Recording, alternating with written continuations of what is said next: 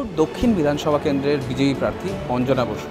অবশ্য এখানে কিন্তু একটা প্রত্যাশা রয়েছে মানুষের যে অঞ্জনা দিয়ে এবারে কি করতে চলেন। প্রার্থী হিসেবে যখন তুমি এখন নির্বাচিত, ঠিক তেমনই জয়ী হওয়ার পরে তুমি কি কি ভাবছ? এখানকার মানুষের প্রতিক্রিয়া কি যখন তুমি মানুষের কাছে গিয়েছো? মানুষের প্রতিক্রিয়া অসম্ভব, স্বতঃস্ফূর্ত, ভালো এবং শুধু হাত জোর করছি, কিছু বলবার আগেই বলছেন যে অনেক আশীর্বাদ বিজয়ী হও। খুব ভালো খুব ভালো রেসপন্স পাচ্ছি। কনফিডেন্সটা একটু একটু করে বৃদ্ধি পাচ্ছি। আর সব থেকে বড় জিনিস এই এই এলাকার কোন কোন দিকগুলো তুমি দেখলে? এই যে তুমি সব জায়গায় ঘুরে দেখছ জানছো মানুষের থেকে প্রতিক্রিয়া পাচ্ছ কোন কোন ক্ষেত্রে এখানে উন্নয়নটা দরকার?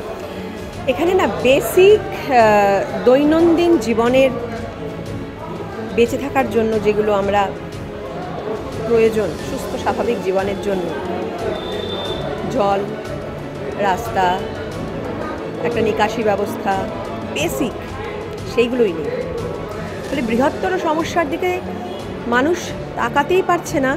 যখন তুমি দেখছ, আমরা কোনো মরুভূমিতে থাকি না, কলকাতা শহর থেকে এতটুকুনি মাত্র দূরে, সেখানে খাবার জলের জন্য আড়াই কিলোমিটার হেঁটে যেতে হচ্ছে। এর থেকে দুর্দশার আর কিছু হয় না। পাঁচ মিনিট বৃষ্টি পড়লে কোমর অবধি জল জমে যাচ্ছে, এবং সেটা নর্দমার নোংরা জল। নর্দমা পরিষ্কার হয় না। মাসের পর মাস, বছরের পর বছর। এগুলো বেসিক সমস্যা এবং যে যে পাড়াতেই যাচ্ছি, আমাদের সার্বিক পশ্চিমবঙ্গের সমস্যা, সে শিক্ষা ব্যবস্থা, স্বাস্থ্য ব্যবস্থা, চাকরি নেই কলকারখানা নেই, সেগুলো তো ছেড়েই দাও। সেগুলো তো একটা সার্বিক সমস্যা, সে তো গোটা পশ্চিমবঙ্গেরই আছে। কিন্তু এইখানের না, এই বেসিক সমস্যাগুলো থেকে এত আপসেট লাগছে যে এই কিরে বাবা এরকম করে কোনো সংসার মানে সংসার চলে? সরকার চালানো মানে তো তোমার একটা সংসার চালানো, তাই না? একটা রাজ্য তোমার একটা সংসার। তো এইভাবে সংসার কি করে চলে আমি জানি না। একটা বিষয়, যেটা নিয়ে একটা কথা ছিল যে তারকা প্রার্থী হিসেবে এই যে সবাই অনেকজনই যুক্ত হয়েছেন, সেটা তৃণমূল হোক বা বিজেপি হোক। কিন্তু একটা বিষয় ছিল যে বিজেপিতে কিন্তু অনেক বছর আগে থেকে তুমি আছো। তোমার ক্ষেত্রে সেই কথাটা খাটে না যে তুমি হয়তো হাওয়া বদলের রাজনীতি করো। তো সেখানে যারা নতুন বিজেপিতে জয়েন করেছে, তাদেরকে যেভাবে বলা হচ্ছে বা তৃণমূল থেকে যারা গেছে, সেই ক্ষেত্রটাকে তুমি কীভাবে দেখছ? যখন তারকাদের এরমভাবে বলা হচ্ছে যে সুবিধাবাদী। দেখো, এই নিয়ে আমি মন্তব্য করতে চাই না আর পারবও না। তার কারণ কে কোন সুবিধের কথা ভেবে সত্যি জয়েন করেছে আমার জানা নেই। তবে কিছু তো একটা বেসিক ভাবনা নিয়ে নিশ্চয়ই জয়েন করেছে। এবং তার মধ্যে কয়েকজন নির্বাচনে দাঁড়িয়েওছে। একটা তো এজেন্ডা থাকেই, নির্বাচনে তো কেউ এমনি এমনি দাঁড়ায় না, কিছু একটা ভাবনা নিয়েই দাঁড়ায়। ফলে সেই সুযোগটাও হয়নি তাদের সাথে সেই নিয়ে কথা বলবার, কারণ এতই ফুটপাট করে সব কিছু হয়েছে। তবে একটা কিছু কোনো ভাবনা না নিয়ে শুধু নিজের স্বার্থের কথা ভেবে ভোটের রাজনীতিতে চলে এসছে, আমার মনে হয় না সেটা। কারণ ভোটটা সম্পূর্ণ আমি শুরু করে বুঝতে পারছি তো সম্পূর্ণ অন্য পৃথিবী। এটা এত সহজ নয়।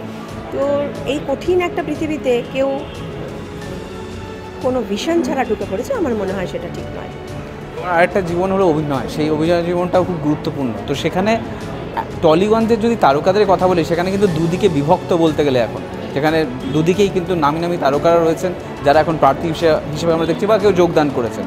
তো সেখানে কি একটা অভিনয়ের জায়গাটা বা এই টলিগঞ্জে একটা এফেক্ট পড়বে এটা? আমার মনে হয় না। কারণ চাকা ঘুরতে থাকে সব সময় প্রত্যেক দিন আমাদের ইন্ডাস্ট্রিতে শয়ে শয়ে ছেলে মেয়ে আসছে। সবেরই একটা শেষ হয়, আবার শুরু হয় শেষ হয় ওরকমই যারা কাজ করতে পারবেন, করবেন। যারা করতে পারবেন না, সময় দিতে পারবেন না, তাদের স্থান পূরণ করবার জন্য আবার নতুন মানুষও চলে আসে, সেরকমই চলে আসবে। এবারের প্রচারে কিন্তু সব থেকে বড় যে সেটা শব্দ খুব বেশি ঘুরে বেড়াচ্ছে, খেলা হবে। তোমার কাছে এই শব্দটা মানে কি বা সেটা তুমি কীভাবে ব্যাখ্যা করো না, আমার এটা খুব খারাপ লাগে এই শব্দটা শুনলে। কারণ দশ বছর ধরে তো ছেলে খেলাই হয়েছে। সাধারণ মানুষের জীবন নিয়ে। এখন যে খেলা হবে খেলা হবে বলে উল্লাস হচ্ছে, সেটা আর একটা ছেলে খেলা করবার জন্য। এটা আমার খুব বাজে লাগছে। আমার কাছে ভোট মানে গণতন্ত্রের পুজো। তো যে যে জিনিসটাকে আমরা পুজো করি, সেটাকে খেলা করবে, হবে বলছেন, আমার এটা পছন্দ নয়। শেষমেশ সোনারপুর দক্ষিণের মানুষদের তুমি কি বার্তা দেবে? আমি বলব আমাকে আশীর্বাদ করুন, আমার সঙ্গে থাকুন। আমি এত বছর রাজনীতিতে থাকা সত্ত্বেও আমি কখনো ভোটের রাজনীতিতে আসিনি। এবারে যখন এসেছি, আমি যথেষ্ট দায়িত্ব পরায়ণ একজন মানুষ ব্যক্তিগতভাবে। এবারে যখন এসেছি, তার মানে একটা দায়িত্ব মাথায় নিয়ে, ঘাড়ে নিয়ে এসেছি এবং সেই দায়িত্বটা পালন করতে চাই। আমি কখনো কোনো দায়িত্ব থেকে পালাই না, ছুটে চলে যাই না।